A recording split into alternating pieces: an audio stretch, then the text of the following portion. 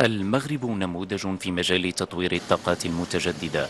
هكذا يصفه الخبراء في مجالي الطاقة والبيئة وممثل منظمات إقليمية ودولية ومسؤولون حكوميون يتحدرون من مختلف دول المعمور.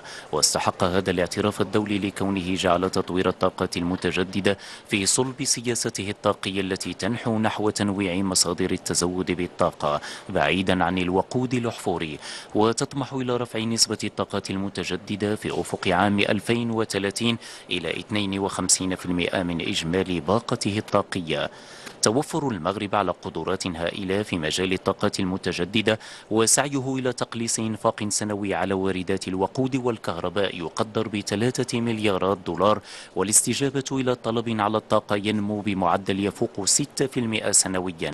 عوامل دفعت بالمغرب إلى إعطاء انطلاقة برنامج متكامل واسع النطاق لإنتاج الكهرباء بالاعتماد على الطاقة المتجددة.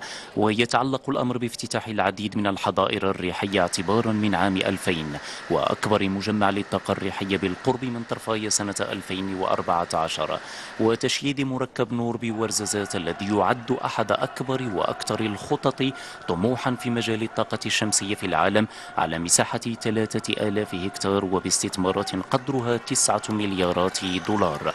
هذه المحطات الشمسية والحظائر الريحية وغيرها من المشاريع تهدف إلى أن يكون إنتاج الطاقة محليا وتحقيق النجاعة الطاقية وتسريع وتيرة انتقال المغرب الطاقي كما أنها تعكس رؤيته المستقبلية التي جعلت منه نموذجا يحتذى وقبلة للعديد من البلدان.